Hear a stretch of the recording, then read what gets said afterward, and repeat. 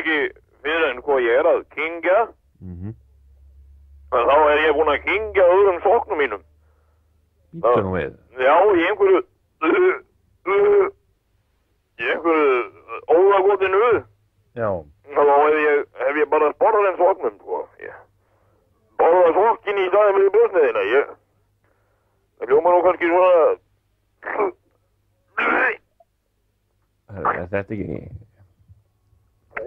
Að, ertu að kastu upp hana eða? Já, þetta, þetta er svona með, með flögrar við þessu, sko. Já. Ég er með svona, ég er bara hreinlega táfílubræð í mununum, sko. Já. Þetta var óglætt að þessu, sko, þetta er nokkið, En uh, tekst ekki að, að, að kasta upp soknum þá? nei, nei, ég finnst ekki að, að kannu vonum upp, en ég þurfti nú að gera það því að ég á ekki annað par.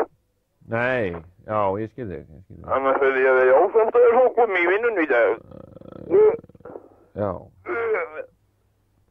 Já, ég held að, er ég held að þú verður bara að reyna að verði býða það til hann fer út um hinn endan. já, það var spurning hvernig það verður og hvort það verður hvort það verður að fara í hann.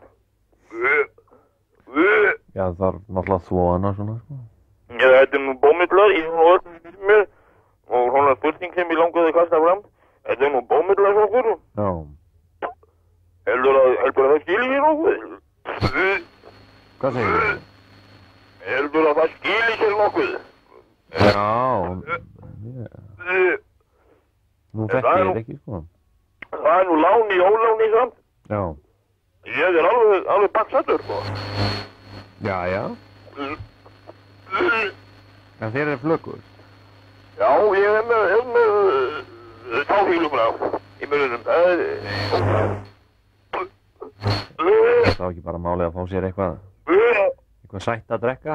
Já, jú, alltaf ekki. Kók eða, eða eitthvað gos. Eitthvað vona til að slá á þennan dóbráðið. Já. Heyrðu, já, já, ég þakka þér kærlega fyrir þetta. Já, þetta er blessaður. Ertu blessaður.